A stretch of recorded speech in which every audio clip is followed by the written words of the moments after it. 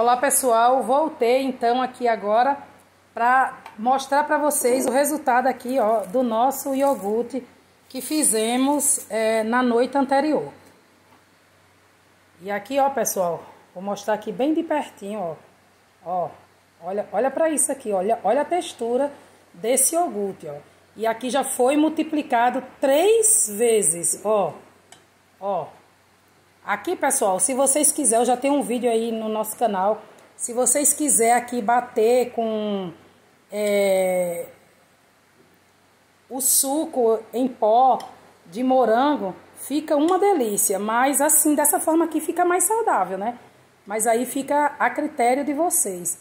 Olha que delícia, olha que coisa sensacional, tá vendo? Ó?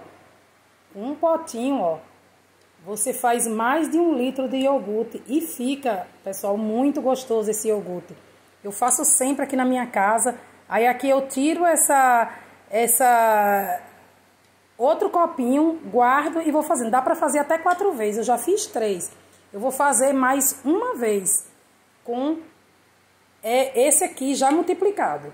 E aqui, ó, pessoal, já tirei o, o copinho. Aí com esse copinho aqui eu vou fazer novamente e aí eu vou dando continuidade ao ciclo. Como essa daqui é a quarta vez, eu vou fazer só mais essa. Mas é, pelo resultado que eu tive desse aqui, é, eu creio que vale muito a pena e eu acho que dá para ficar dando continuidade. Mas eu vou fazer apenas quatro vezes. Então foi isso aí, ó. Com um copinho desse, ó, você consegue fazer multiplicar aí até quatro vezes. E olha, pessoal, um copinho desse dá para fazer até 2 litros de leite. Com 2 litros de leite, que no caso você vai fazer 2 litros de iogurte. Então aí você vai fazendo e todo dia você vai ter aí iogurte em abundância aí para seus filhos, para sua família. Então foi isso. Eu espero muito que você tenha gostado. Não esqueça de deixar seu like. Compartilhe esse vídeo com amigos e familiares. Fica com Deus. Até o próximo vídeo. Tchau.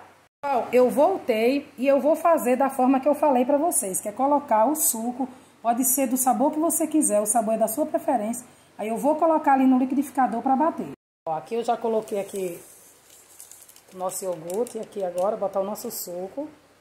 E agora eu vou bater. E olha aqui esse resultado. Olha que delícia. Eu usei o sabor de maracujá, mas eu gosto de fazer de morango também, você pode fazer de limão da sua preferência. Agora que tá esse calor, pessoal, para tomar o iogurtinho assim é muito delicioso. Então foi isso. Fica com Deus. Tchau.